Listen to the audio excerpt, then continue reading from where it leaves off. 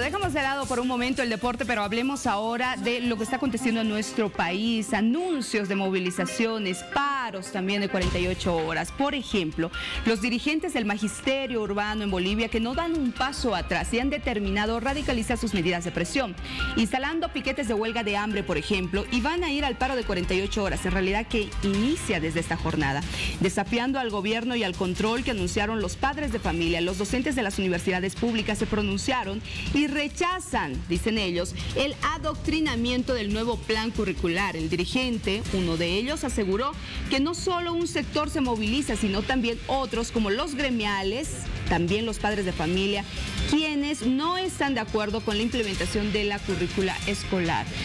Todavía hay quienes mantenemos las esperanzas de que se puedan sentar una vez más en la mesa del diálogo y puedan llegar a un consenso para qué, para que no se perjudiquen los niños, ¿no? Porque finalmente quienes no van a pasar clases justamente son ellos.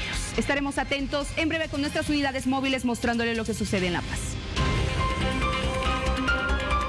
Hablemos de otros temas, también importantes, la CIDH que continúa con esta su agenda, ya va concluyendo el trabajo. De hecho, el día de mañana tiene que presentar ya las conclusiones de esta observación que se está realizando en diferentes eh, lugares, cárceles, por ejemplo, el tema de la justicia en nuestro país, la observación en el cumplimiento de los derechos humanos, la vulneración, si es que existe también. Y esta comisión de la CIDH que ha llegado justamente para todo este trabajo está con una agenda bastante apretada. Por ejemplo, en La Paz se ha reunido con diferentes líderes de oposición, de oficialismo, autoridades también. En Santa Cruz se han reunido con representantes de la gobernación, en Cochabamba lo propio y en Sucre, que eh, donde se encuentra el órgano judicial, por ejemplo, con el fiscal general del Estado. Además, con quienes se han denominado presos políticos, es el caso del señor Luis Fernando Camacho y también la expresidente Janine Áñez.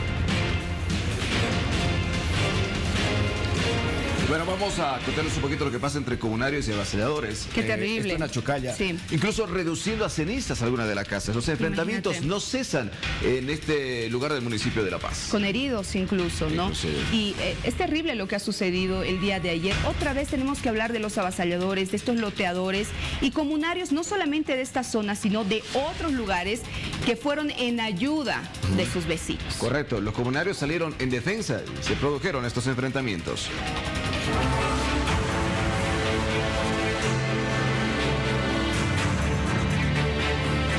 Esto es el resagio de lo que queda o de lo que quedó del enfrentamiento entre comunarios de Juntuma, Chocaya con supuestos avasalladores. Se instalaron carpas, hubo una gran contienda. Quienes defendían terrenos y quienes estaban ya tomando posesión de los mismos. Calaminas, fuego, leña y personas heridas es el saldo. de la mañana hemos desalojado a los avasalladores, supuestamente dueños de, del uso común de la comunidad Juntuma. Nosotros somos los comunarios de ahí de abajo que vivimos acá. Entonces, no han, sacado documentos falsos, ¿no? De folios de alto, de esas cosas, hermano. Caminar acá por Juntuma es como pasar por un campo de batalla. Las casuchas que se armaron de calaminas, derrumbadas, otras ya consumidas por el fuego. Prácticamente en este lugar, quien quiso tomar posesión de estos terrenos no lo consiguió.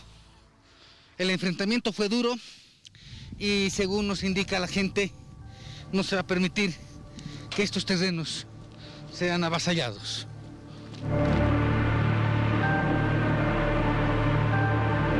No, solamente que ayer en la tarde entraron, nos han, nos han encontrado imprevistos, cada uno en su trabajo.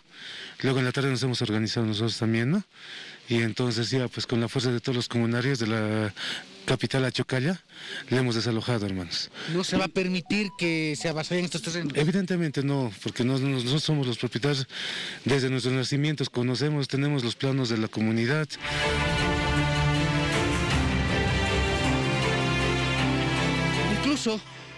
Ya se estaba edificando una casucha acá, la cual ha sido demolida. Se trajeron ladrillos, había material de construcción, prácticamente ya se estaba empezando a habitar estos ambientes. La gente no lo permitió y dejaron la casucha en estas condiciones.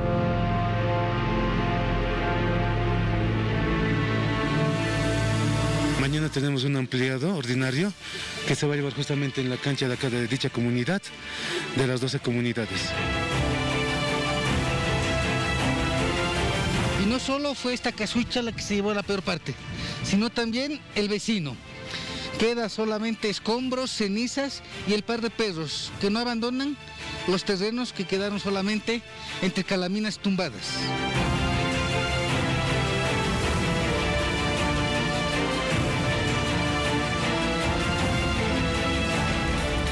Tremenda lluvia la que cayó ayer, Richard, en La Paz. Y hay que tener mucho cuidado. Sí. Si usted está manejando su movilidad, tome todas las, previsiones. A veces el agua no te permite tener un panorama claro de algunos baches o de lo que puede suceder a tu alrededor. Afortunadamente, en la zona sur de la ciudad de La Paz, cae un árbol, había dos carros que estaban estacionados. Afectados por la caída de este árbol, efecto de la lluvia. Claro, y las personas, y en uno de estos vehículos estaba una mujer, por ejemplo, y a punto de llevarse su auto, pero lamentablemente cayó. Cayó y solamente algunos rasguños, por así decirlo, pero no un hay... Un susto tremendo. Exacto, naturalmente, sí, que dejó anegada eh, la calle 8 y la costanera, donde se encuentra la avenida eh, Arequipa, que conecta a la zona de la Florida. Esto es la zona sur de la ciudad de La Paz. Y nosotros pudimos obtener el relato de esta persona afectada.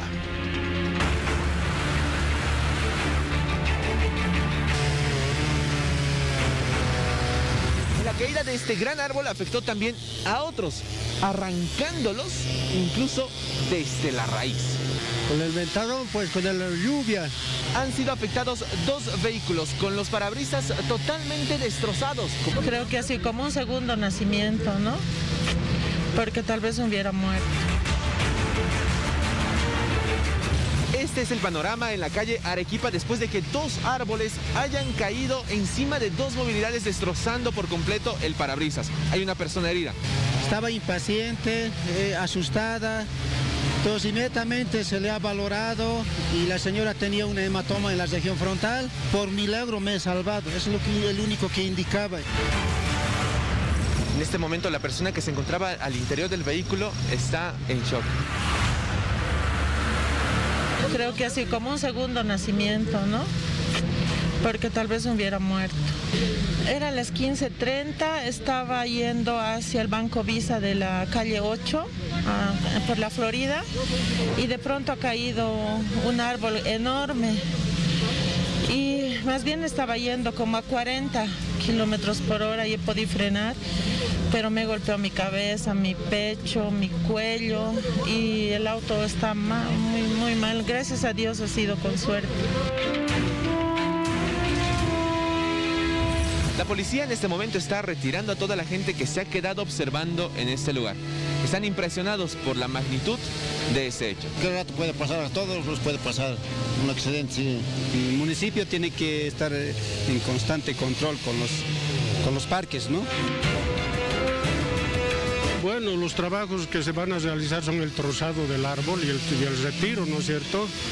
Así al ritmo que están yendo, más bien Ema Verde ha tomado los recaudos necesarios a tiempo y bueno, se calcula que unas tres horas más ya va a estar expedita la vía.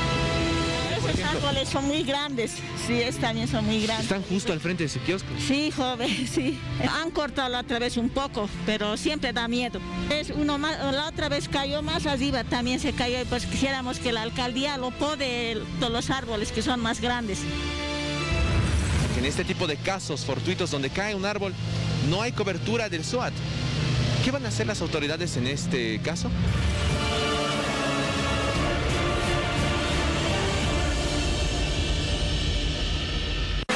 Y seguimos avanzando en esta, en esta mañana con buenas propuestas y buenas sugerencias. Detrás de mí tu saquito que tiene un cuellito cadete. ¿De dónde es?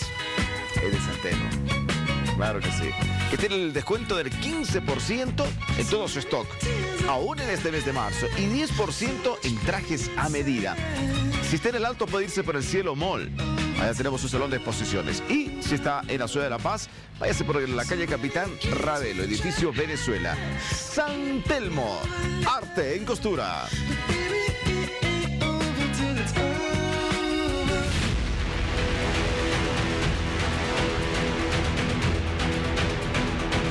Estamos en todo el país, esta vez en Cochabamba, para saber sobre estas movilizaciones anunciadas por los maestros. Pero, ¿qué va a pasar con las clases? Hoy un paro de 48 horas que inicia, Tiago.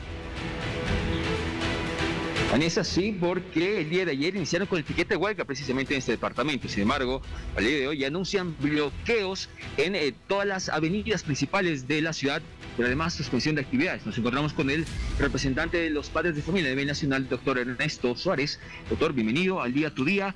La postura de los padres de familia referente a esta determinación de los maestros, por favor. Buenos días, buenos, en primera instancia preocupados como siempre como padres de familia por la situación que está atravesando la educación boliviana. Eh, nosotros hemos sacado el día de ayer un comunicado a nivel nacional en la cual hemos hecho conocer a todos los representantes de los nueve departamentos de que se debe exigir a las autoridades de educación particulares para poder asumir con responsabilidad que los estudiantes puedan el día de hoy y el día de mañana puedan pasar clases virtuales para precautelar la seguridad e integridad física de nuestros hijos con la finalidad de evitar que los bloqueos perjudiquen la llegada e inclusive pueda pasar algo eh, inesperado a algún estudiante, ¿no? Si tiene alguna consulta, le escuchamos.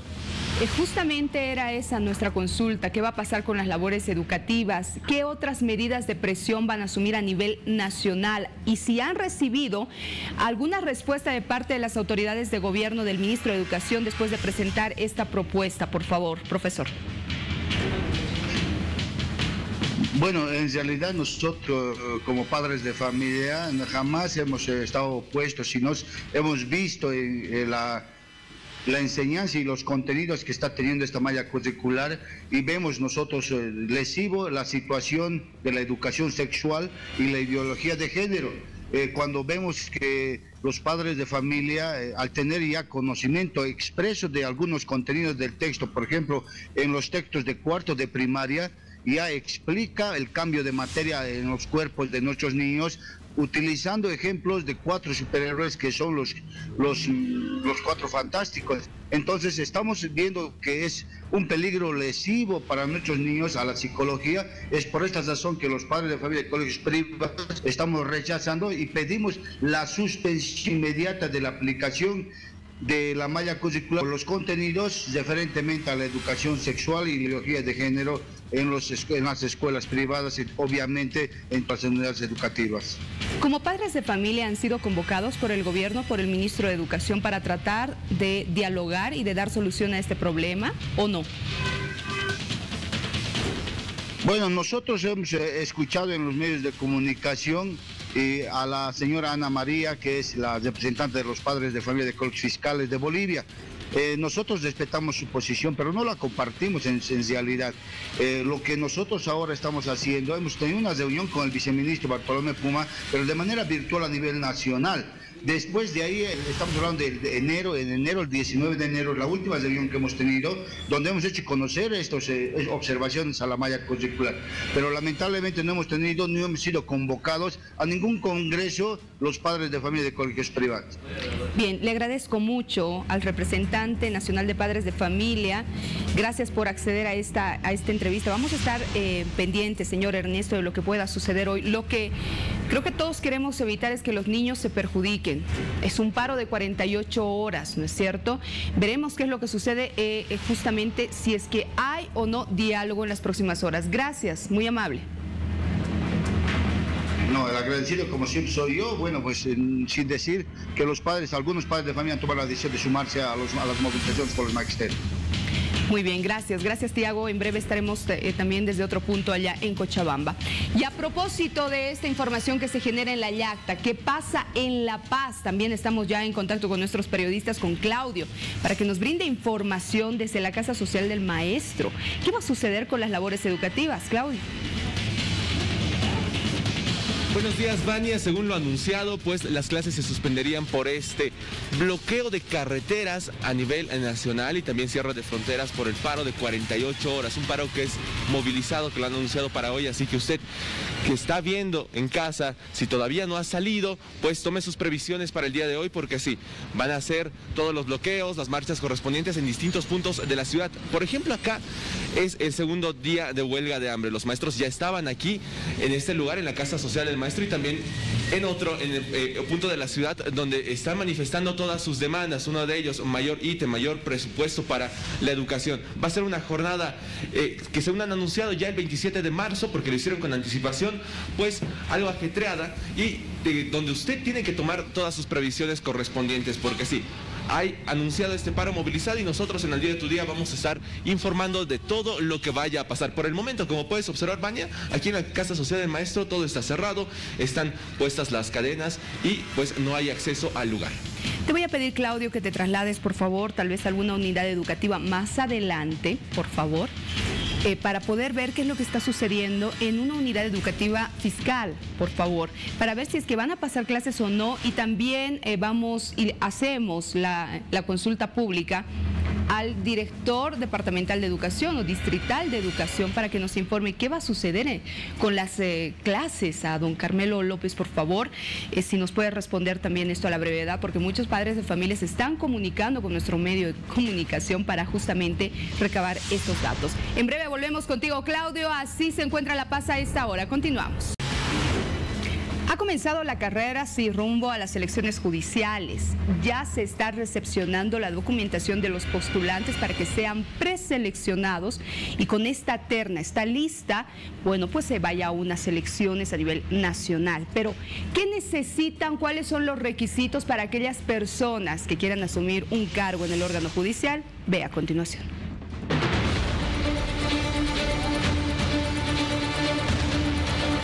Buenas tardes. Sí, ¿usted está viniendo a preguntar por los requisitos, me dice? Ah, bueno, sí, quería saber dónde puedo recabar eh, requisitos para postulantes, ¿no? Al proceso de preselección de candidatos para las elecciones judiciales, ¿no? ¿Usted está interesado? Eh, por supuesto, por eso vine a ver dónde, no, tal vez una mesita, no sé, cómo será, ¿no? Donde se puede recabar. Además de las páginas web, acá también lo informo.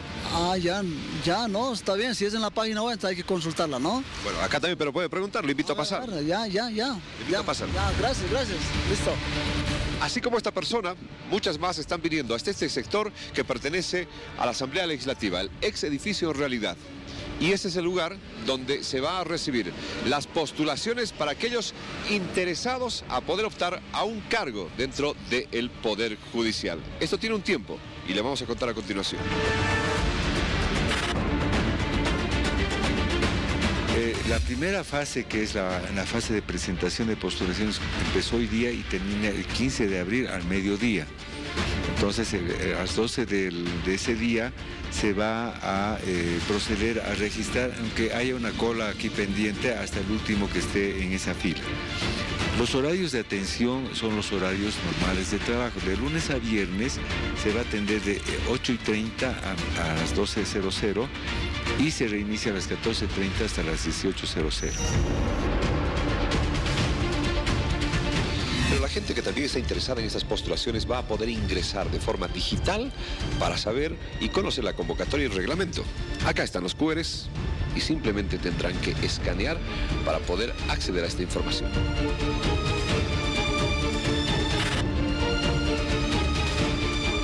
Existen dos comisiones mixtas que van a, a, proceder con este, con este proceso. Una es la Comisión de Constitución que va a estar a cargo del Tribunal Constitucional Plurinacional y del Tribunal Supremo de Justicia.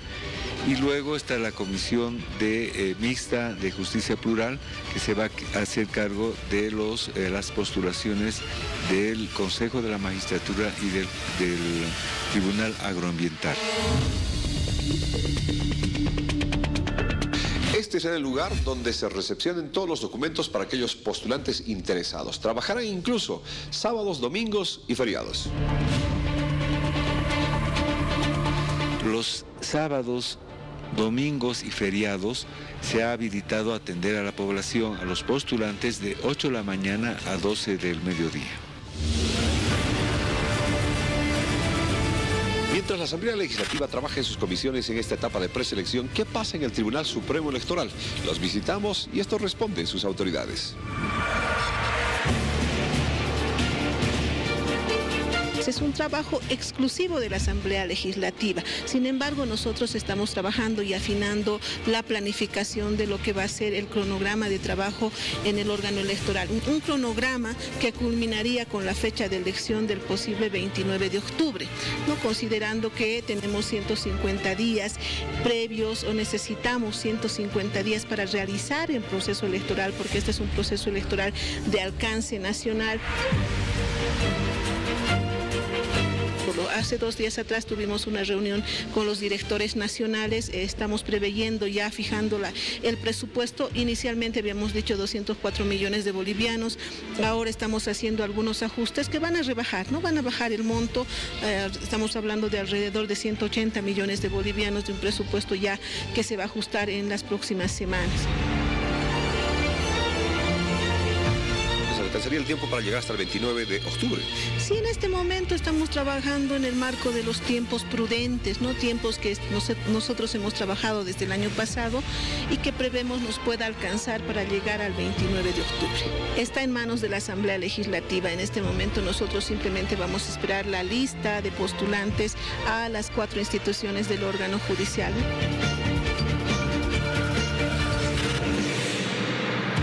Hasta el momento nadie se presentó todavía, es decir, no han llevado sus documentos, sí, yo quiero ser postulante, quiero ingresar a esta etapa de preselección, pero sí están yendo a averiguar. Ahora, si usted tiene interés, si tiene también esa pasión por la justicia, quiere hacer una transformación y quiere participar de estas elecciones, puede descargar toda la información visitando las páginas tanto de la Cámara de Senadores como de la Cámara de Diputados a través de estos QRs. Aprovechando la visita del viceministro de Defensa eh, del Consejo consumidor, don Jorge Silva. Le pregunto nada más, le consulto después de haber visto toda esta nota, viceministro, muy buenos días, bienvenido. ¿Qué, qué se espera de este proceso de preselección? Es parte del proceso de eh, reforma judicial. Muchos han esperado este momento, algunos eh, juristas, por ejemplo, han iniciado una campaña para reformar la eh, constitución política del Estado porque tienen una propuesta. Otros eh, han estado esperando esta convocatoria para poderse presentar eh, y bueno, aquí la población boliviana en su conjunto está a la expectativa respecto fundamentalmente a qué van a hacer ahora los asambleístas, ¿no? Porque es un mandato constitucional que ellos tienen que cumplir, aprobar por dos tercios la lista de precandidatos. ¿Será que lo hacen, viceministro? Es el desafío que ellos tienen, ¿no? Y la población los está viendo para ver si eh, están de verdad con, eh, con la camiseta desde formar la justicia o simplemente la van a utilizar para hacer nuevamente política. Porque un órgano tan importante, el órgano judicial, no puede quedarse sin autoridades. Sí, eh, bueno, la constitución es eh, clara al respecto. No podemos, como tú dices, eh, no tener nuevas autoridades. Estos 26 magistrados que van a ser elegidos es parte del proceso de reforma. Los que apostamos por la reforma judicial deberíamos ir por ese camino y esperemos que los asambleístas, especialmente los de oposición, puedan en este escenario eh, definir esta situación. Ojalá que tengamos eh, esa vocación democrática de los parlamentarios de la oposición y tengamos esa, esos dos tercios que se requieren. Porque una ampliación ya no corresponde, ¿no? tomando en cuenta que hasta el 31 de diciembre también concluyen sus funciones quienes son los representantes del Tribunal Constitucional. Sí, ya es el periodo constitucional que, se cumple y mm, la Asamblea debe aprobar esta lista y después la población tendrá que eh, acudir para elegir a las autoridades porque es una conquista social también muchos sectores. Eh, yo cuando he sido candidato a diputado, nuestra propuesta era que se deje de elegir en cuatro paredes y que sea la población que elija las autoridades del órgano judicial. Y fue una propuesta aceptada por la población que se ratificó en el, en el referéndum de aprobación de la Constitución Política del Estado. Eh, por lo tanto, es una, consideramos que es una conquista social y mientras no se modifique aquello, están convocados los asambleístas para elegir por dos tercios y la población posteriormente para elegir con su voto a las próximas autoridades. Veremos qué es lo que sucede. Eh, generalmente en los últimos días es cuando llegan más postulantes, ¿no? Como que se hacen esperar, digamos, para presentar su documentación, sus postulaciones. Hasta el 15 de abril es, por si acaso, esta etapa de presentación, ¿no? Veremos qué es lo que sucede y daremos seguimiento. Ahora sí, viceministro, hablemos eh, del tema del huevo. ¿Qué está pasando? ¿Cuál es el informe que usted ha recibido? Bueno, eh, Vania, este es un tema que, como otros temas, no deja eh, de ser una oportunidad para una oposición política ¿no? que utiliza cualquier pretexto con la finalidad de eh, afectar al gobierno, de atacar la economía, eh, que tiene un blanco, eh, es el modelo económico como blanco que tiene la oposición política para afectar al gobierno, al presidente Lucho. ya hemos tenido varios casos sobre este mismo tema, ¿no? el agio, la especulación con el dólar, con el pollo, con el maíz, con la carne de cerdo, con la papa, etcétera, etcétera. Y hoy estamos con este tema del huevo, ¿no? bajo un pretexto desde nuestro punto de vista injustificado, porque eh, del 100% de la producción de huevo, Bania, el 55% lo produce Santa Cruz, eh, y el 20% lo produce Cochabamba. Es decir, que el 80% de producción de huevo y eh, lo producen el resto del país, solamente el 20% Cochabamba. Ahora, ¿cuánto ha sido afectado de este 20% la gripe aviar? Ellos mencionan, los propios dirigentes, que les ha afectado en un 30%. Eso significa, en términos generales, que solamente se ha afectado la producción de huevo en el país en un 5 a 6%. Eh, ¿Qué significa eso? Que un 95% de producción de huevo en el país es normal, ¿no? excepto este 5 o 6% que incide en Cochabamba.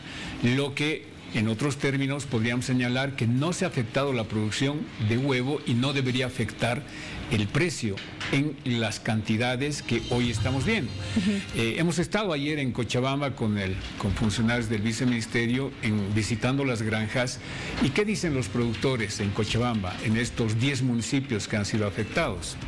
Que evidentemente ha habido una afectación en su producción porque se han eliminado 322 mil aves aproximadamente. De las ponedoras. De las ponedoras y ellos dicen sí, eso ha afectado. Y eso ha provocado que subamos 10 centavos por unidad de huevo.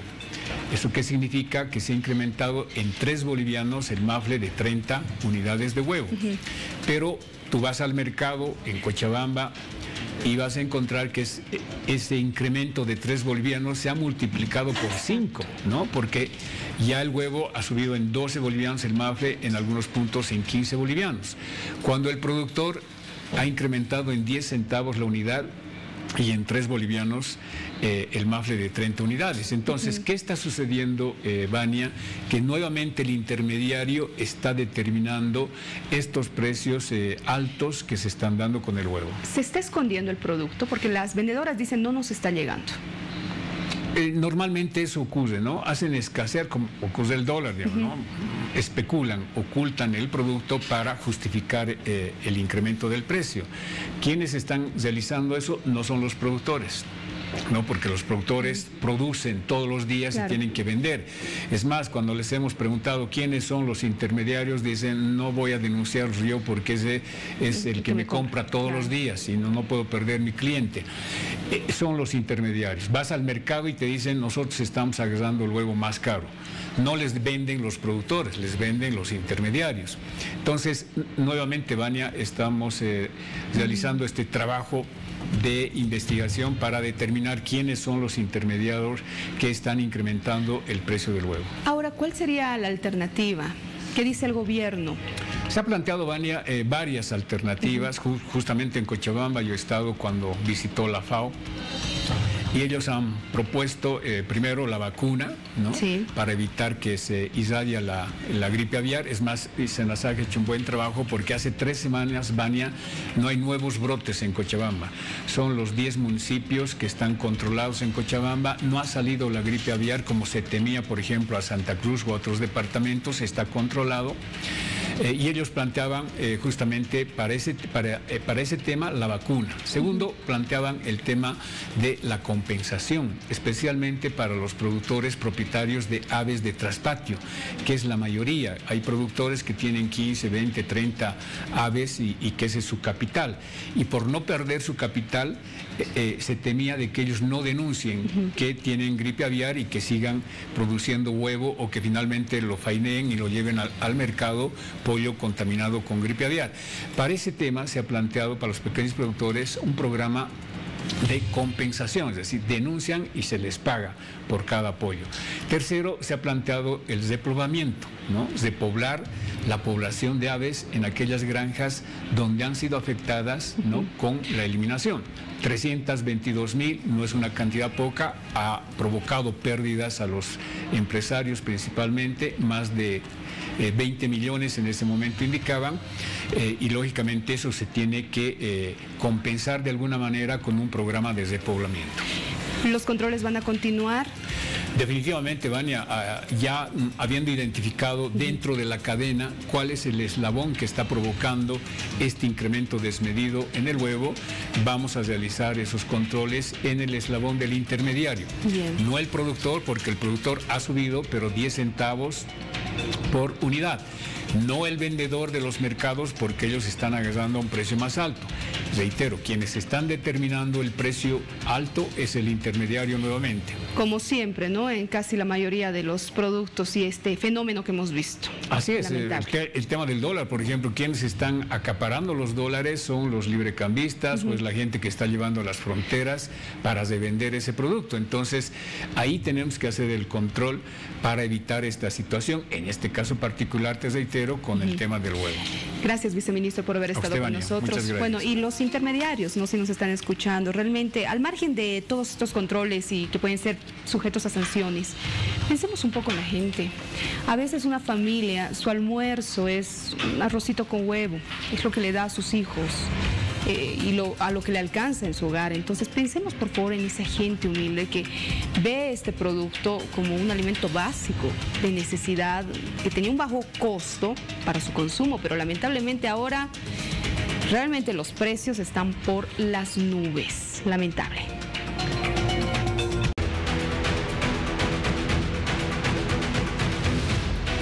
Bajó la intensidad de la lluvia en Cobija. Por ende también los niveles de agua. Amelia Valverde se encuentra en la capital fronteriza que tenemos en el norte del país. Muy buenos días, Amelia.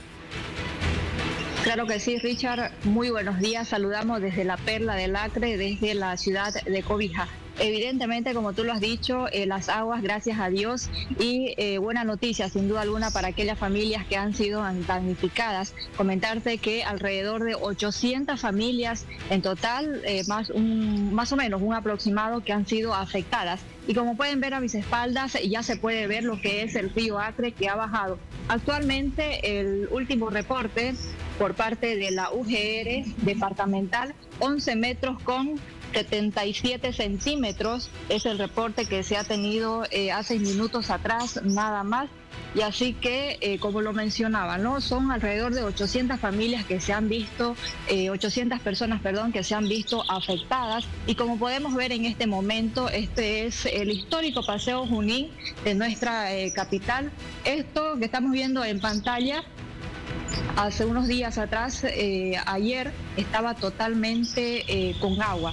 Como podemos ver, ahora ya está eh, con lodo, lo cual quiere decir que ha bajado. Algunas casas, como estamos viendo ahí en pantalla, de igual manera ya están con lodo, lo cual ahora las personas van a tener que hacer la limpieza, como estamos viendo ahí el señor limpiando ya no en su pasillo. Se han tomado diferentes acciones tras que se conoció eh, la crecida de lo que fue el río Acre. Acciones inmediatas por parte de la gobernación de Pando, acciones inmediatas por parte del municipio, las diferentes unidades. Incluso eh, se ha recibido un aproximado de 12 toneladas de alimentos por parte del gobierno nacional. Bien, bien Amelia. Bueno, es, es notorio el panorama si lo comparamos con ayer, con el día lunes, el pasado fin de semana. Ha cambiado bastante, ¿no? La zona que nos estás mostrando, hay, hay, mucha diferencia. Y se vienen realizando algunas campañas, por ejemplo, para evitar algunos contagios, el tema del, del dengue y otras enfermedades, por efecto de estas inundaciones. Exactamente. Eh, lo que es la dirección, la unidad del dengue, por ejemplo, departamental, ellos en ningún momento han quedado quietos, ellos han estado eh, monitoreando para que no se propague lo que es el dengue, porque sin duda alguna esto ha sido una de las enfermedades que ha estado a brote en nuestro municipio, en otros municipios de nuestro departamento de igual manera. Gracias a Dios esto se ha podido eh, controlar, no se ha propagado lo que es el dengue con esta inundación que se ha tenido, ¿no? ¿Hay amenaza de lluvia aún a esta hora en Cobija? Desde el día de ayer comentarte que no ha llovido. Eh, hay reporte de que el día de hoy eh, haya lluvia, pero no, no fuerte como se ha recibido días anteriores, ¿no? Con esa intensidad que tuvimos durante el fin de semana, lunes y martes, Amelia. Y esta es una muy buena noticia. Como vemos el panorama en el río Acre. Sí, el río Acre que lo Así es.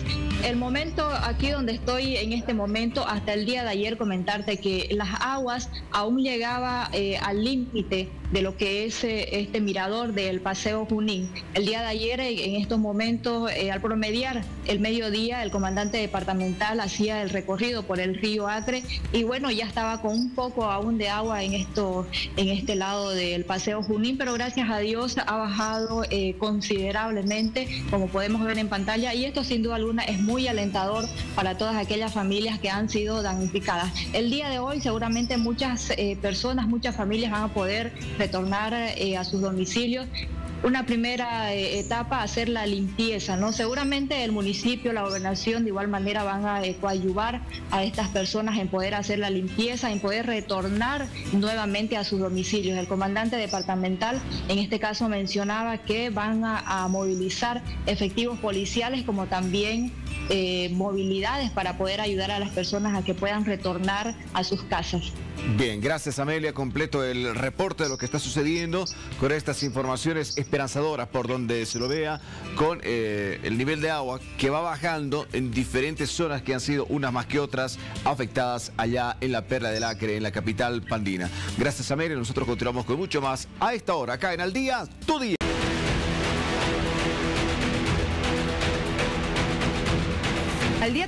Hasta la base aérea de los Diablos Negros. En este momento estamos observando cómo todo el cargamento de ayuda para cobija ha sido mm, o va a ser trasladado más bien en este avión. Escuchemos lo que dice la autoridad, por favor. Lo más rápido posible. Entonces, este es el segundo vuelo que lo estamos realizando, pero vamos a realizar muchos más, a requerimiento obviamente de, las autoridades de, Pando, ¿no? ¿Se continúa haciendo el monitoreo con las, familias afectadas, las que ya han recibido la ayuda? Bueno, nosotros trabajamos con los municipios, el dato exacto no lo tenemos, pero eh, eh, los municipios encargados allá les van a dar un poco más de, información, ¿no? Coronel, si nos puede reiterar, por favor, ¿cuántas toneladas está, de carga se está dirigiendo a COVID? Bueno, hoy, hoy estamos llevando tres toneladas y media con un total de 17.110 bolivianos pero asimismo hacer notar de que el, fin de semana pasado hemos llevado 12 toneladas con un total de 145.841 bolivianos. Total general de, ayuda en esos dos vuelos tenemos 15 eh, toneladas haciendo un total en bolivianos de 162.951 bolivianos. Más o menos, ¿cuántas familias estarían beneficiadas de esto? Bueno, las familias eh, por, el, desastre que están sufriendo son muchas, no están todas contabilizadas porque hay, hay realmente gente que está muy adentro y no se las puede contabilizar, ¿no? Gracias, coronel. Si me permite, Juan Carlos, por acá, por favor, les voy a mostrar, Baña, en estos momentos. Eh, vamos a pasar al avión, donde está el cargamento. Hay fideos, hay arroz, hay azúcar. También acá, acá hay ya las cajas de aceite. Juan Carlos, si me puedes mostrar acá, estas cajas de aceite. ¿Ya? Perfecto. Aparte de eso, eh, efectivos militares van a estar acomodados acá, eh, quienes se van a dirigir justamente a Cobija y acá ya están las bolsas de fideo. Acá están las bolsas de fideo, acá hay azúcar, más adelante igual está el arroz y por supuesto el efectivo militar ya se encuentra listo justamente para partir a rumbo a Cobija, Bania. Muy bien, bien, gracias, gracias a Dios también esta ayuda que está siendo posible y creo que no solamente es el gobierno, municipios también que se están organizando, la alcaldía paseña, por ejemplo, recolectando lo que se puede para poder enviar hasta nuestros hermanos allá en Cobija esta ayuda que es tan urgente. Qué bueno, mire, ahí está el avión con todo este cargamento de enseres secos que está siendo trasladado en este momento. Gracias César por toda la información y vamos ahora hasta la terminal de buses en pantalla dividida. Le mostramos el movimiento también de nuestros periodistas, de nuestros equipos de prensa. En la terminal de buses para verificar si es que hay salidas. ¿Qué pasa con los bloqueos anunciados por los maestros, Claudio?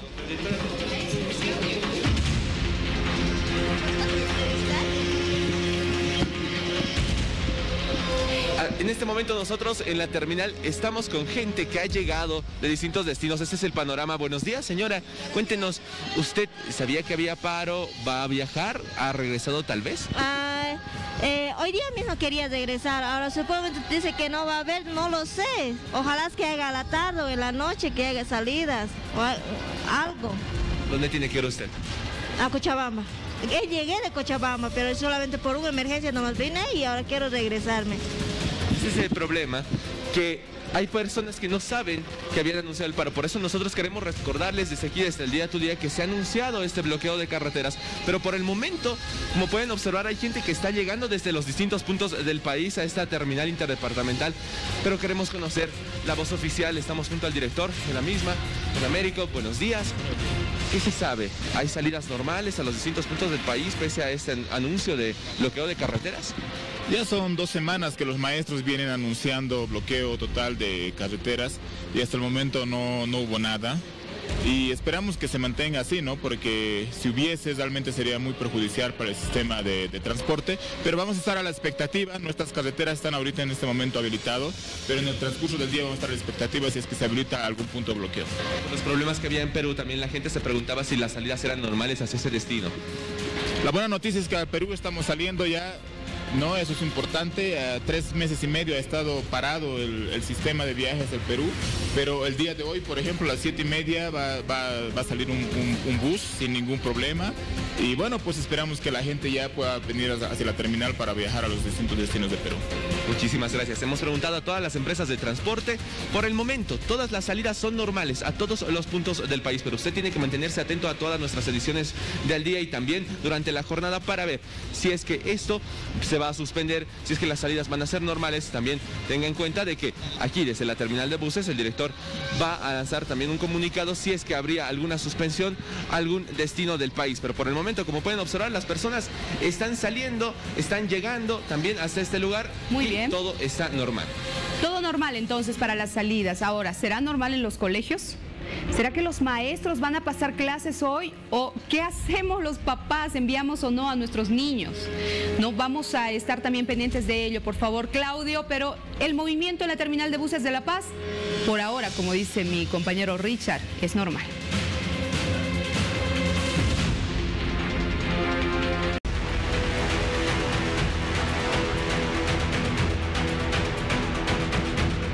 Día presente en el lugar de los hechos ha llegado la policía hasta el puente Avaroa. ¿Por qué?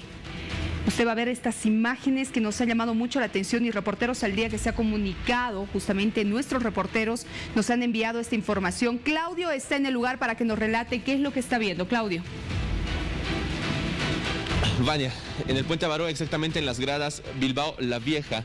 Aproximadamente a las 5 de la mañana los vecinos se habían percatado de que dos personas se encontraban en estas gradas. Una con heridas graves, eh, aparentemente le habían tirado una piedra y sí, encontramos que hay mucha sangre en este lugar. Hay otra que ha sido también interceptada por la policía, que estaba parada, estaba al lado, está con signos vitales, pero en este momento estamos con uno de los vecinos que nos va a relatar más de lo que ha pasado. Buenos días.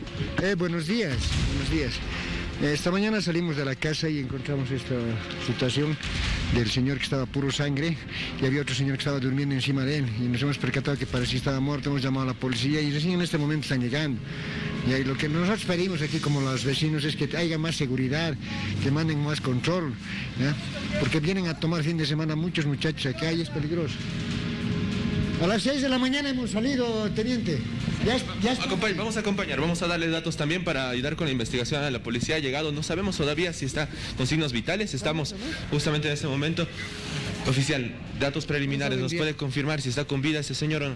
Buen día, ¿cómo estás? ¿Cómo al lugar para identificar a una persona que está con signos, sin signos vitales? Aparentemente el señor eh, ya está mucho tiempo acá. El señor estaría sin signos vitales, aparentemente sin vida. Entonces, el personal de bomberos, el personal de homicidios. El señor está sin vida ya. Sería un bebedor constitucionario el señor. Sabemos que no podemos mostrar estas imágenes, Vania, pero te voy a relatar un poco de lo que está sucediendo.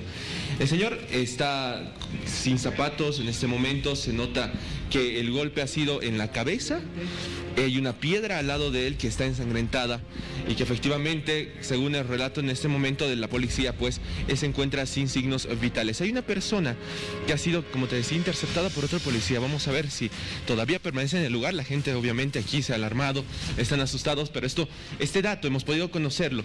Incluso llegar antes que la policía gracias a nuestros reporteros al día, quienes nos han indicado que estaban a eh, horas de la mañana. Vamos a avanzar por el lugar se encuentra el efectivo policial por otro sitio y también la persona que estaba acompañando a este que se encuentra sin signos vitales. De hecho, puedo observar en este momento que en sus zapatos también él tiene sangre. Buenos días, oficial. ¿Se ha podido recoger alguna, algún dato más? Eh, se ha confirmado también por parte del otro efectivo de que la persona se encuentra sin signos vitales. Sí, ahorita lo estoy tomando aquí al indicado de que realmente él indica que es su amigo, amigo de la calle. Ya son amigos que viven con él en la calle. Justamente es lo que indica aquí el señor. Buenos días. alguna pelea? ¿Qué ha pasado? Ustedes se habían dormido aquí, estaban bebiendo. ¿Qué es lo que pasó? Ha aparecido sin vida. No, yo le llamaba, yo, yo le llamaba, yo le he auxiliado. Llamaba, en vida ya. Cuando leía, otro yo la agarrado, se me la... Puta lleno de sangre, mira, de la mano, lleno de sangre. Cuando justo lo más... Hemos visto que fuiste después de eso a la farmacia, tal vez querías ¿Quién le hizo eso? Sí, quería auxiliarle. ¿Él vio algo? Quería auxiliarle. ¿Quién, ¿Quién le hizo eso? ¿Viste algo tal vez? ¿En ese momento estabas consciente? No, no, no he visto nada. Cuando mi amigo ya de calle, cuando yo le he visto, somos de calle. Cuando le leía foto ya. ¿El despertado ya estaba así? En pago estaba. Pago estaba y después de ahí Bien, Claudio. me he levantado. Me he levantado y Vania, te escucho en Muy bien, bien, no, no, no estamos logrando comprender mucho. Se, nota que el señor está bajo los efectos todavía del alcohol. Eh, son bebedores consuetudinarios, es lo que nos dice uno, uno de los efectivos policiales. Volvamos, por favor, al lugar de, del hecho para tratar de hablar con, con el vecino que ha llamado a la policía muy temprano, ¿no? Pero no le hacían caso. Qué lamentable esta situación, es una persona sin vida que tiene eh, aparentemente signos de violencia y una piedra que está ensangrentada. Ahora, ¿es posible que se haya caído tal vez, que se, eh, que se cayó en, esas gradas? No lo sabemos, eso va, vamos a investigar, pero ¿los vecinos escucharon algo, alguna pelea, algún pedido de auxilio, algo, Claudio? Disculpe. ¿Ustedes escucharon algo, ruidos de que habían personas que se han peleado en este lugar? No, no hemos escuchado nada, nada, no hemos escuchado nada. Esta mañana, como le digo, al salir nos hemos sorprendido al cerrar la puerta y mi hija dice, mira, hay que harta sangre, papi. Me dice, cuando empezamos, mira, no, era sangre, hemos venido bajando y así ya hemos encontrado al señor ese que está muerto. La piedra es de aproximadamente 45 centímetros, Vania, casi del tamaño de la cabeza de la persona que se encuentra sin vida en este momento. Se presume, según los datos extraoficiales de la policía, que ha podido sufrir algo de violencia. ¿Por qué? Porque la piedra se encuentra ensangrentada en este momento. las investigaciones continúan. Podemos observar también de que en las gradas más adelante vamos a ir subiendo por este lugar también se encuentra con sangre. Es decir, que tal vez las personas han ido caminando durante mucho tiempo por este lugar y como puedes observar, todas las gradas están ensangrentadas, todo el recorrido por el cual ellos estaban en este lugar. Aquí de hecho eh, podemos encontrar uno de los zapatos, justamente como decía, que, que no tenían zapatos la persona que está sin vida. Una botella que también se presume sería que estaban consumiendo ellos, una de alcohol, otra de otro trago y efectivamente una mancha más grande de sangre en este lugar, además de un, de un ladrillo que está roto. Hay una pared que también está ensangrentada. Los vecinos que están alarmados. Usted, señora, buenos días. Le voy a pedir que por favor me hable un poco fuerte. ¿Ha escuchado algo en la madrugada? ¿Gritos, peleas? Nada, no escuchó. Allá hay otro zapato. Ahí hay otro zapato, me dice que no ha escuchado nada. De hecho, sí. Sube. Podemos ver aquí es el otro zapato. Justo era el inventario que faltaba. Y si seguimos recorriendo Hazlo, Claudio. todas hazlo. las gradas, seguimos encontrando sangre, Vania. Qué lamentable. Encuentro sangre cada tres gradas. Por aquí, por allá. ¿Qué fue lo que le pasó a este Entonces, hombre? ¿Se cayó? ¿Hubo una pelea? problema, no sabe, no se ¿Lo agredieron? Mire, ahí hay otra mancha de sangre. Rodó las gradas. ¿Qué fue lo que le sucedió? Pero eh, lo que llama la atención es esta, esta piedra, ¿no? Y, estamos todavía indagando, estamos esperando que llegue eh, la división de homicidios para hacer el levantamiento legal del cuerpo, del cadáver. El tema de las cámaras es un factor importante. ¿Ves alguna cámara? Justamente me estaba percatando de esto, Vania. Al momento no he podido ver ninguna. Al menos en las viviendas que están aquí, no hay ninguna. Más arriba tampoco.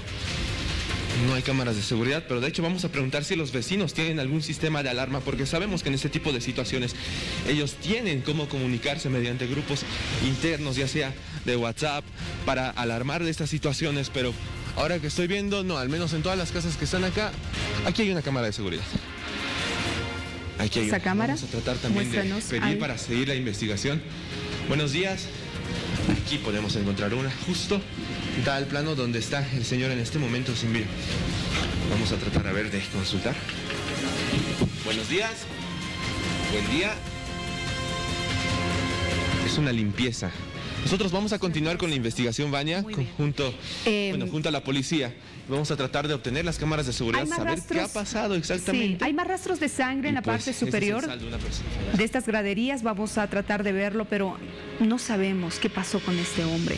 Si estaba mal herido, si caminó, trató de ir hasta otro lugar, cayó, rodó estas gradas. ¿Por qué hay una piedra ensangrentada? Eh, tiene daños en la cabeza, alguien lo, lastimó hasta- a, tal punto de quitarle la vida. ¿Qué fue lo que sucedió y por qué la policía llegó tan tarde también? ¿no? Desde las 5 de la mañana que dicen los vecinos que han llamado a la policía, han pedido auxilio, pero no llegaron hasta que eh, nuestro medio de comunicación llegó antes incluso que la policía. Qué situación más complicada. Hay una persona sin vida. Mira, ahí está uno de sus zapatos, un bebedor consuetudinario. Esto ha ocurrido en la zona Buenos Aires, a quienes viven en otros en otras ciudades para que se ubiquen un poquito más el, el lugar de los hechos. Mire, la cantidad de sangre, otro de los zapatos, bebidas alcohólicas o botellas por lo menos y un hombre que yace unos metros más abajo. Lamentable lo que ha ocurrido. Ampliaremos esta información. Gracias, Claudio. Richard, atención porque este domingo ya se celebra, es el domingo de Ramos. Estoy con la señora Rosario. Mire todo lo que ella hace. La creatividad que tiene, la habilidad que tiene en las manos. Señora Rosario, bienvenida. Eh, muy buenos días. ¿Cómo está? Eh, vengo desde la de Villa Armonía. Vengo del santuario Señor de la Sentencia. Bueno, me estaba contando un poquito que usted hace esto, pero por amor, ¿no? Eh, sí, más es la fe que tenemos nosotros, o sea, toda mi familia tenemos la fe en el Señor, que es el Señor de la sentencia. Entonces, trabajamos hace siete, ocho años que lo hacemos, pero lo hacemos en fe a Él. Porque toda mi familia es integrada, mi hija también es catequista. Ah, bueno. Entonces, muy creyentes. muy creyentes. Ahora, ¿de dónde, eh, cómo hacen para el material, por ejemplo, para utilizarlo? Eh, el padre nos dota el material, va y compra las palmas que son en ramas largas que viene y nosotros tenemos que empezar a cortar. Claro, y hacen, es como un tejido además, ¿no? ¿Qué Es una maquinita que hay que aprender y hacer al transcurso de la rama que va uno tejiendo. Mire, doña Rosario Richard está intentando. ¿Se puede hacer a mano, Ancherito? Sí, es prácticamente es a mano lo que hacemos el trabajo. Eh, lo hacemos en familia, mis hijas, mi hermano mayor. ¿Cuántos ramitos más o menos hace? Aproximadamente. Al día yo hago 80, 70. Ah, eh, bueno. ¿Y se vende así te- de bien? Eh, prácticamente yo saco casi como 400, 500 palmos que hago, o sea, tejidas. Y las novedades que empiezo a hacer, digamos, el Cristo, la cruz, que he sacado esto, por ejemplo, Ah, es. Cristo en la cruz. Como podrás Cierto. ver, acá ver. están sus bracitos, A ver, lo vamos a poner. su cabeza y Miren, así es. es el Cristo. ¿Qué tal? ¿Y la gente sigue comprando? ¿Sigue Eh, sí. llevando esas costumbres Sí. en esta época? Sí, sí, Richard. Eh, prácticamente tomamos cinco ramitas y empezamos a tejer. Uno, dos. Pues yo voy a intentar, muy No bien. te vas a equivocar, Richard. No, no, porque Son cinco ramitas que hay que tomar Ya. y hay que empezar a tejer. La novedad es esto que estoy haciendo de Cristo y empezamos a... ¿Cuánto me cuesta uno de estos, por ejemplo? El Cristo hago a 10 bolivianos. Ah, ya 10 bolivianitos. ¿Esto está ya listo para poder colarse en la puerta, puede ser? Sí, está para su puerta. La puertita, ¿no? Eh, no lo vendo por mayor. Eh, trabajo, como le digo, para la iglesia San- eh, Señor de la Sentencia. Ya está. Entonces ya lo hago. Mira de... Richard, qué rapidito. He aprendido muy rápido. Pero eh, este ramito no tiene mucho sentido si no lo hacemos bendecir, ¿no? Exacto. Lo primero que tienen que ir es a las misas y en la misa el padre les da la bendición y luego va uno y lo coloca detrás de la puerta. ¿Por qué es tan importante el Domingo de Ramos, señora Charito? Usted que es muy Eh, creyente. El Domingo de Ramos es importante porque tenemos eh, que sentir la pasión que el Señor tuvo por nosotros. Eh, él da, Él da y Él sigue dando por todos los seres humanos. Exacto. Y lo que único uno va y pide es salud, que en toda la familia nos vaya bien, prosperidad, trabajo. Claro. Hay que recordar, ¿no? Hay Como que él- recordarlo, los buenos Sí. pasos que ellos nos dejó. No, no, un Bueno, ejemplo, Charito. ¿no? Y cómo ha muerto en la cruz por todos nosotros y Por nuestros todos pecados. nosotros, sí. Exactamente. Bueno, estaremos. ¿dó- ¿Dónde la podemos encontrar el domingo? El domingo eh, voy a estar en el santuario Señor de la Sentencia en la puerta. Esto es en En Obrajes, la ¿no? puerta, no, en Villa Armonía. Villa Armonía. Ya la conocen a la señora Charito, Sí, ya sí, sí. años que está en esto y con la familia. Gracias, gracias por haber estado con nosotros, señora Charito. Mm, Más bien yo me siento bien agradecida y doy gracias a Dios que me dio estas manos para poder trabajar Exacto. para Él Es una obra de y arte. pedir eh, salud y bienestar para todos los seres humanos del mundo. Y unidad para nuestro Unidad país, para ¿no? todos, Eso, sí. eso es importante. Domingo de Ramos, entonces, ya estamos a nada de esta celebración, Richard. Sí. Gracias, señora Sí. Charito. Tradiciones religiosas que tenemos acá en el día a tu día y queríamos mostrarles estos trabajos que son realmente una obra de arte dentro de nuestra religión católica.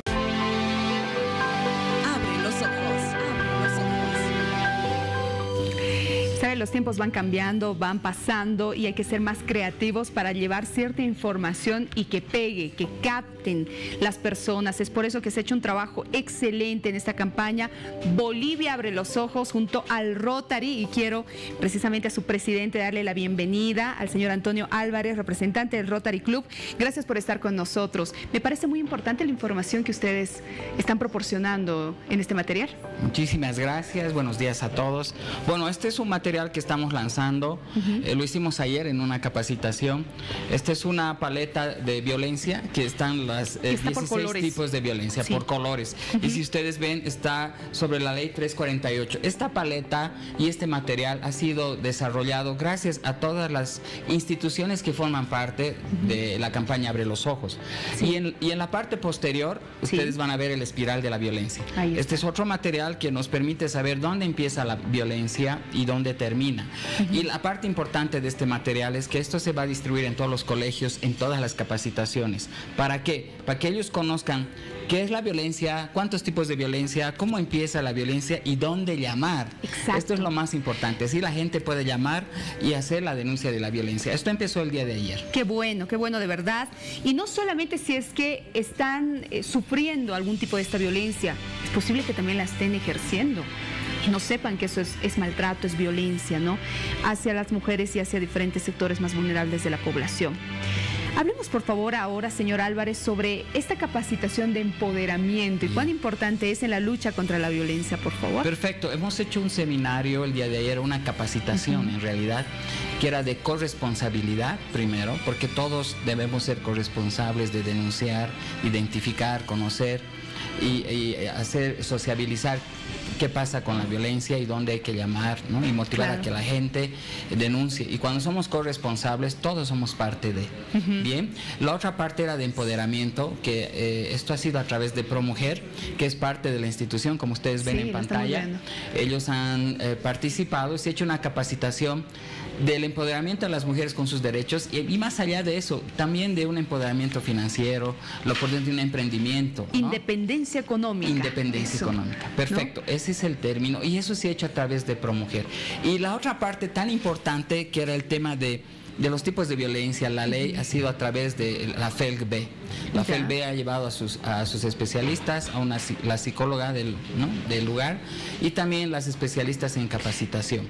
Y, y al mismo tiempo, bueno, se ha logrado hacer la capacitación y hacer entrega de estos materiales, que esta es una contribución del Distrito 46, 4690 del Rotary Internacional en Ahora, Bolivia. señor Álvarez, si algunos sectores quieren este tipo de capacitaciones, de empoderamiento hacia las mujeres y donde también participan, por ejemplo, los varones, ¿por qué no?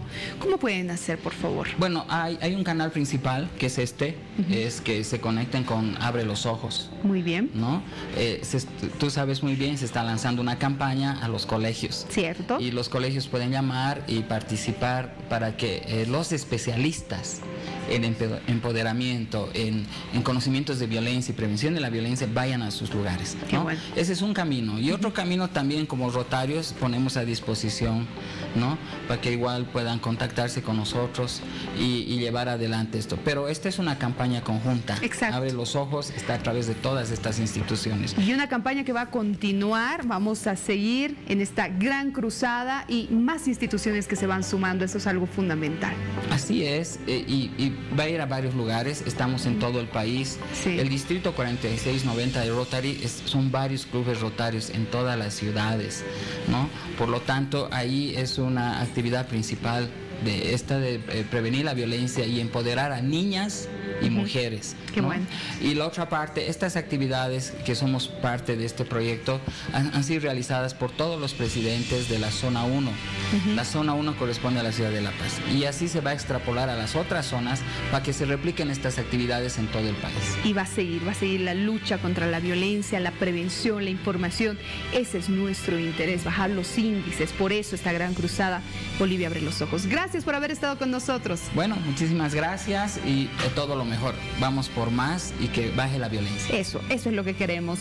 Gracias. Recuerde que usted también puede ser parte de esta campaña con este material, tal vez mostrándole a su vecina, ¿por qué no a la comadre, a la amiga, al amigo también, a los vecinos, socializando, que es algo muy importante para prevenir la violencia.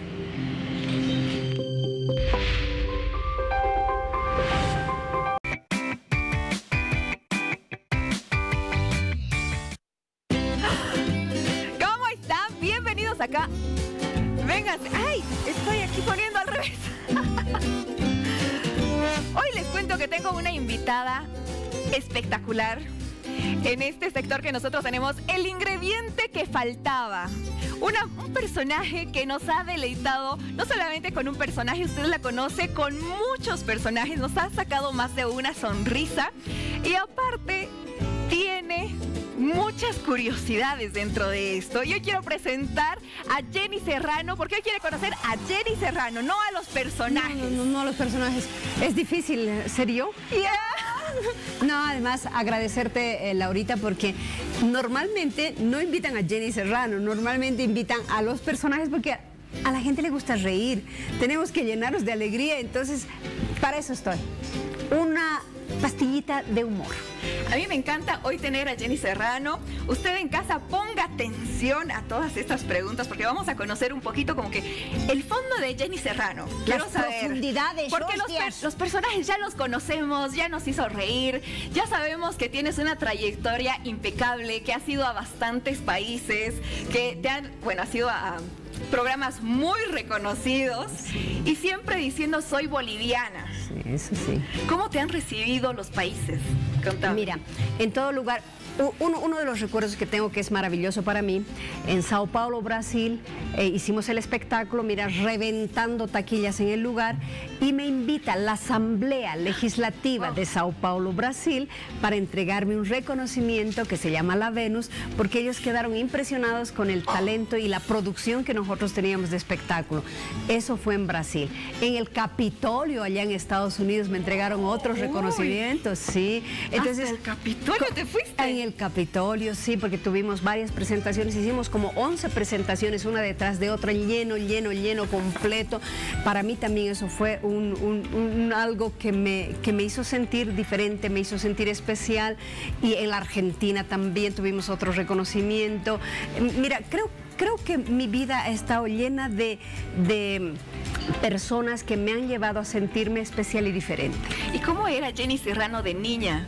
¿Que ¿Le, le gustaba así de ser personaje? Era muy tímida. Oh. Sí, yo casi no hablaba mucho.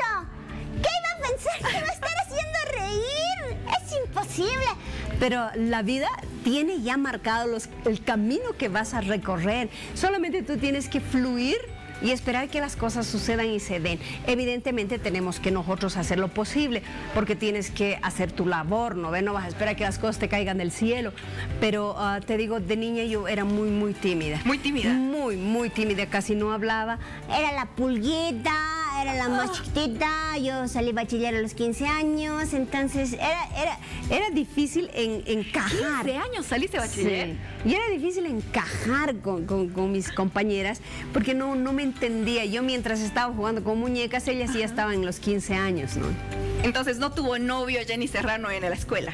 Hostias, ¿O sí? no tuvo novio, poco más y pierde el tren, hija. Menos mal que agarró a Raúl Seraín como su esposo, porque si no, no sé, creo que se quedaba a vestir santos. ¡Ah! ¿A qué edad te casaste? A los 29. A los 29. Y has... no O sea, todas las chicas que a este momento a los 29 años no se han 29. casado tienen esperanzas, no se preocupen. Hombres sobran, lo que falta es tiempo. ¿Se puede? ¿Y has conquistado a tu esposo así, con, con humor? ¿O qué es lo que le ha traído? ¿Dónde se han conocido? Eh, mira, nos hemos conocido en un hotel, pero no estábamos haciendo nada. Era el administrador, el administrador del hotel, era un amigo y entre salida y salida resulta que algo hizo clic. Algo hizo clic. Y de ahí enamoramos dos años y nos casamos. Y Raúl, te digo, es el compañero perfecto, el compañero ideal, porque ser artista y tener un esposo que no sea celoso es, eh, es difícil. No, él entiende perfectamente mi carrera, siempre está apoyándome, eh, es parte, digamos, de toda mi trayectoria. A pesar que dentro del escenario, eh, uno de los compañeros que tenía, Alberto Gasser, con el que, el que hacía de Máximo Pozo, cuando hice ¿Qué familia los Serrano? El que hacía de mi esposo Gilberto Serrano, pensaban que eran mis esposos, porque él normalmente no, no se hace ver, no le Sí, gusta que no, lo vea. no sí. lo conozco a tu esposo, la Eh, verdad. es muy, he agarrado ¿Tienes- bien, he agarrado guapo. Tenemos que ver alguna foto. Me vas a mostrar, pero después. Para Sí. nosotros nomás. Ahí estamos viendo, te cuento todos tus reconocimientos en todos los lugares, no solo en Bolivia que te han dado. Pero a ver, vuelvo al tema de tu esposo. ¿Hay algún personaje tal vez que te diga tu esposo, sabes que no me gusta? Sí, sí, Eh, sí, Ese sí. no lo hagas, quítalo Sí, nomás. sí, ¿Sí? sí, sí. ¿Cuál personaje? La vieja erótica. Yo le digo, mi amor, algún rato voy a ser así. Me voy a arrugar y voy a ser vieja, pero nunca perderé las ganas de estar contigo. ¡Asustado! Dice eso, no hagas ese personaje, no me gusta. Haces eso, yo me voy, me dice, pues no me gusta. Y, y es un personaje lindísimo, porque cuando fui a Barcelona hicimos el personaje de la vieja erótica que bailaba tango. Causó furor, pero a mi esposo es el personaje que no le gusta. Ay, Y a tus hijos, no sé, tal vez en la familia, así entre chiste y chiste, ¿se ha creado algún personaje que tú le tienes más cariño?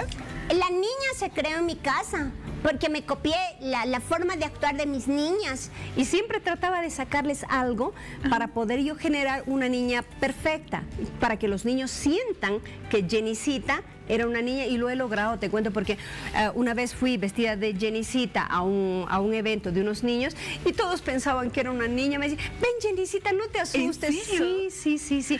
Es tanta la imaginación y la creatividad de los niños que no puedes creer la inocencia que tienen. Entonces, show infantil, show para mayores, show um, eh, familiar. Yo he hecho absolutamente todo en mi vida.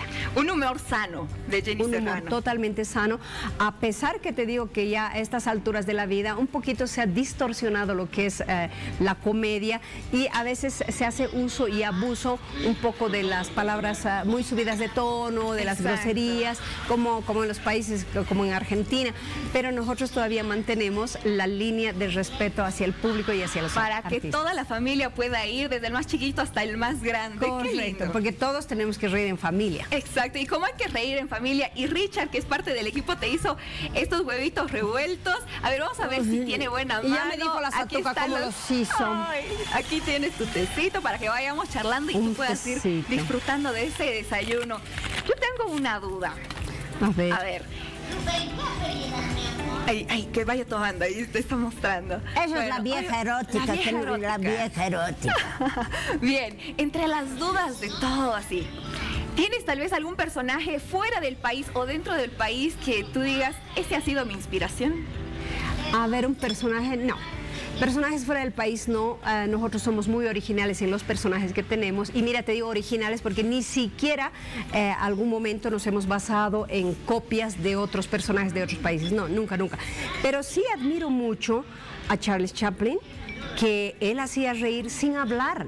Entonces solamente con, con la mirada, con la- a veces se caía, se tropezaba, hacía monerías y hacía reír. O por ejemplo también Cantinflas que me encantaba porque él era muy, eh, no solamente se basaba en sus libretos, dice que improvisaba Oh, N no cosas dentro de sus películas, sí. Y creo que eso es lo que me gusta hacer, improvisar, inclusive dentro del escenario. Dentro del escenario. Azuquita era el ingrediente que faltaba. Ahora, el ingrediente que faltaba sí o sí eras tú, Jenny, porque nos has traído esa linda energía que tú transmites y yo no podía creer, o sea, no puedo creer que te veo y parece realmente, o sea, tu test es súper brillante, o sea, creo que no tiene ni una arruga, así que me tienes que dar, me tienes que dar ese tip, por favor. Ah, y la marraquetita, aquí me dicen que pruebe la marraqueta, Que porque pruebe, aquí ajá. a la marraqueta, cada vez que vienes a La Paz, ¿qué es lo que te llevas de La Paz? Yo quiero decirles a todos los paseños que lo más delicioso que hay es la marraqueta. He tratado de encontrarle el sabor a las marraquetas cochabambinas, potosinas. No, no, no. La marraqueta paseña tiene, tiene algo especial, tiene un ingrediente especial. Y creo que es, es el ambiente, es las manos de los paseños. No sé, es diferente. es totalmente diferente y te cuento que afecta mucho la altura al momento de la cocción. Así que bueno, ¿qué vamos a hacer? Tienen que venirse a La Paz nomás. Yo te voy a regalar así una bolsa de, marraquetas. Me las pides, yo te las mando hasta Cochabamba. Otra cosa que me encanta de La Paz, que es delicioso, son las yauchas paseñas.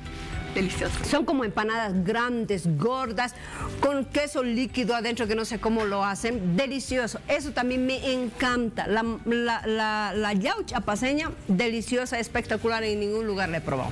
Espectacular. Y también está espectacular ese show que tú vas a dar. Contame dónde va a ser, cuándo va a ser, cuánto tiempo uno tiene que sacarse para ir a ver a Jenny Serrano con todos sus personajes y ese elenco hermoso. Mira, he tratado de ponerle a algunos personajes que son icónicos, porque está la subteniente de policía Shusha Condori, está la diputada María Guerra de Lanza, con un musical, pero excepcional, porque nosotros hacemos comedias musicales cantadas Oh. con imitaciones, pero es espectacular, donde las mujeres aprenden algunos tips para levantar la llama del amor de sus esposos que después de 30 años de matrimonio se olvidan de abrazarlas y de decirles que las aman. Es un número, pero te digo, eh, la gente de pie aplaude el espectáculo. Por eso mi invitación para todos ustedes está la subteniente, la Soraya de la Farra, están los niños, los niños porque hay niños dentro del espectáculo que les encanta también reír. ¿Y ponen huevos de verdad porque se visten de pollos? Eh, está el, el Inca del Gran Poder que no pudo bailar en Oruro, pero está, Pero lo tenemos, tienen. lo tenemos en Champagne Show. Cantando y bailando. Es, eh, están los ponchos que, eh, rojos que dicen ahora sí guerra al civil, pero al matrimonio civil. Y mira, es eh, un cuerpo de baile excepcional, sensacional. Más de 20 artistas todos tienen un nivel y una trayectoria de más de 10, 15 años, así es que es un, un espectáculo de primer, primerísimo nivel. Y te digo otra cosa más, soy la única mujer que todavía maneja un espectáculo hace más de 40 años. O sea, no todos los espectáculos que hay en Bolivia son manejados con varones, eh, por varones, escritos por varones. No, la producción, la dirección de Champagne Show la tiene Jenny Serrano. Jenny Serrano es toda esa producción. Un aplauso, por favor, para Jenny Serrano. Definitivamente el sector lo tenía que cerrar contigo, agrade- agradeciéndote por haber aceptado y también por muchos consejos internos que me diste. Porque véanla, esta mujer no solo es eh, como que brilla y transmite esa sonrisa a la pantalla y en todos los shows, sino también internamente yo he podido conocer a Jenny Serrano. Mil gracias. Y así cerramos el ingrediente que faltaba. Hoy, Jenny Serrano con nosotros.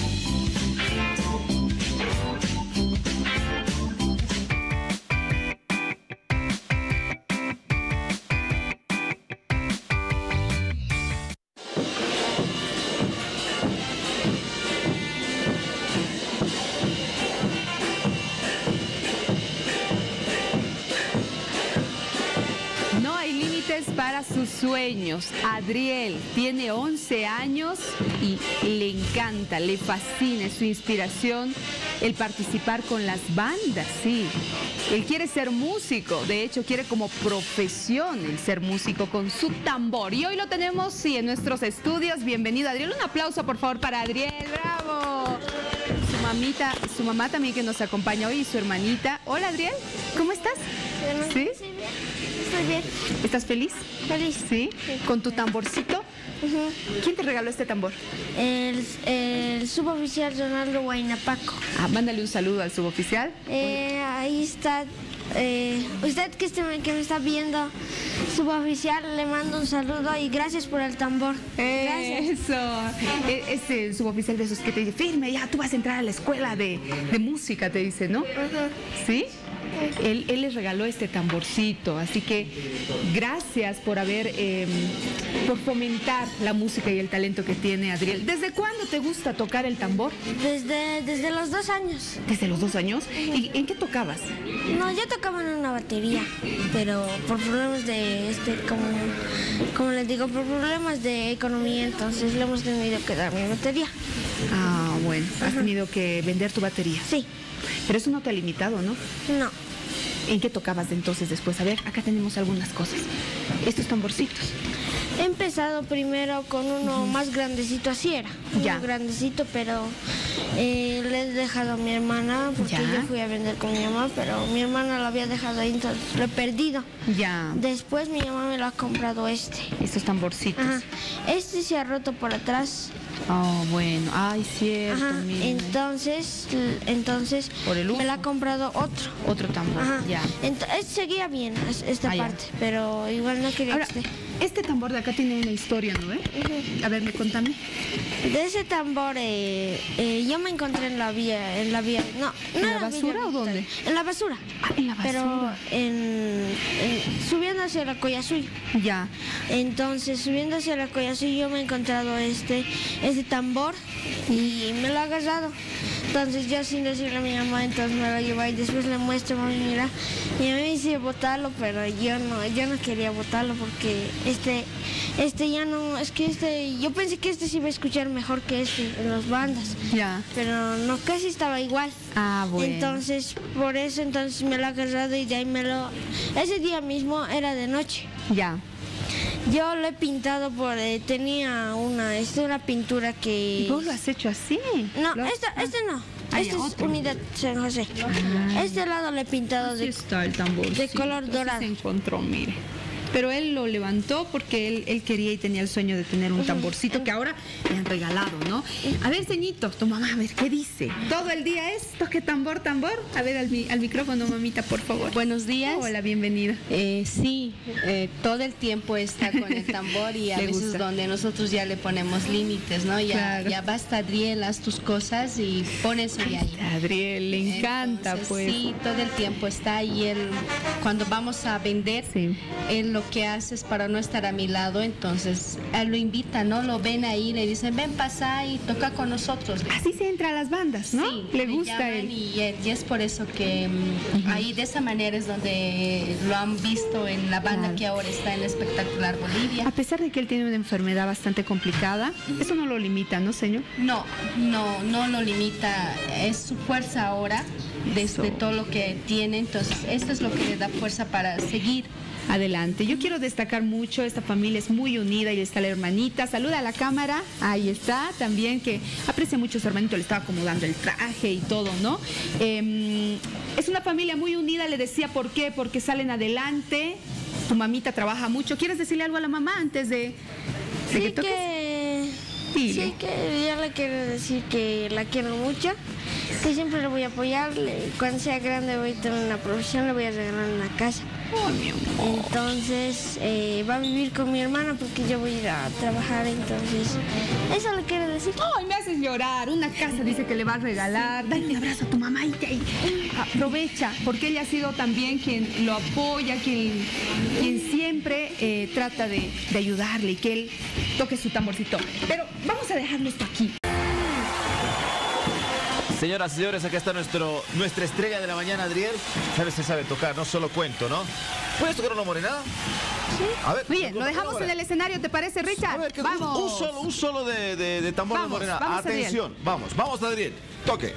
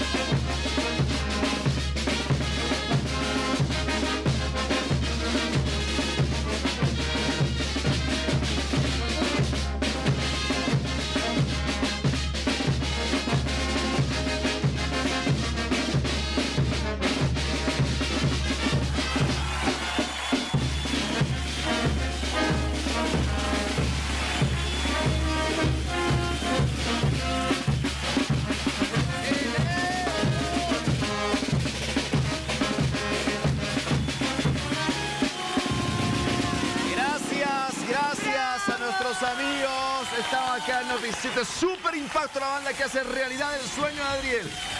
Tu sueño cumplido. Nunca desentonó, siguió al buen ritmo. Gracias a nuestros amigos de Super Impacto. ¿Cómo estás? Eh, bien. Bien, ¿cómo te sientes? Con una banda. Tenía una sonrisa cuando vio la banda. Es que él lo vive, Richard. Vive la música, ¿no? Todo. Todo, tenemos, ¿no? ¿Estás emocionado, mi amor? Eso, qué lindo. ¿Quién es el director de la banda? A ver, venga, venga, ¿qué venga, dice? venga el director de la banda. ¿Qué ¿Cómo tal? lo hizo? ¿Cómo lo hizo? Ah, eh, muy feliz en este momento, Adriel. Eso, qué Nuevo lindo. Qué Nuevo integrante. Es muy lindo ver niños que que crecen con la música. Nosotros también venimos creciendo de esta forma. Hemos aprendido, todos mis compañeros jóvenes.